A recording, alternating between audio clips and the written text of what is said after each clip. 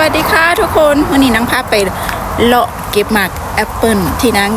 ชอบกินนะคะ ทุกคนนำข้างทางนะ ไปกันค่ะ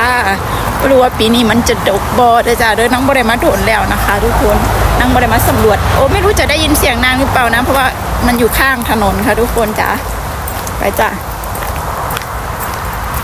ไปเบิ้งไปเบิ้งกันนะว่าถึงแล้วค่ะทุกคนต้นหมากแอปเปิลที่นางตามหานะคะ ปีนี้ไม่ดกค่ะทุกคนดูยังลูกเล็กอยู่เลย นี่นะคะแต่นางก็จะเก็บไปชิมนะเอาเอาอดใจไม่ไหวค่ะ คือคือเราเอากระปุกน้ำพริกมาแล้วอะไรอย่างงี้นะนางก็อดใจไม่ไหวนะคะทุกคนดูแต่เปิดดูกับหลายยูนะคะ หมากมันกระดกอยู่นะคะ ทุกคนจ้ะเอาหมากนี่นะนี่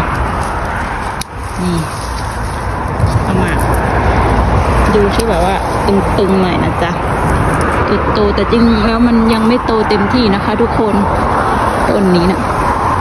เดนางก็จะเก็บเอาไปกินสมนะคะ ทุกคนนี่พอแล้วค่ะ นี่นะคะ มันยังไม่แก่เต็มที่นะคะ ที่นางจะมาเก็บไปกินสมนะดูค่ะทุกคนข้างในนู้นนะจ้ะขอให้ได้เก็บนะคะ ทุกคนนี่นะจะเอา ซูเบิงนะคะ ต้นที่มันอร่อยมากนะคะ